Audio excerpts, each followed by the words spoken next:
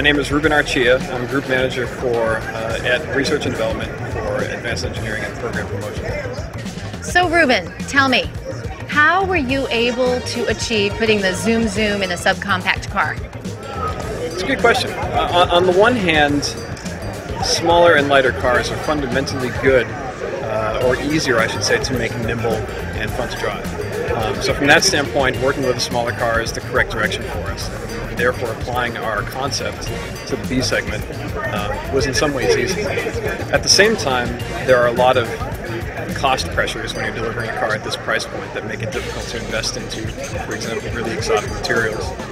And there are a lot of practical concerns that appeal to people in this segment like fuel economy. So really, we had some advantages in building a fun-to-drive small car and some challenges as well to deliver the whole package. But uh, I think we've accomplished uh, what we set out to with this car.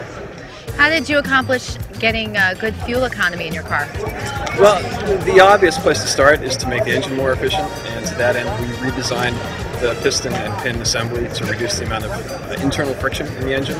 But that aside, there's a lot of things that you can do to the vehicle itself, exclusive of the engine.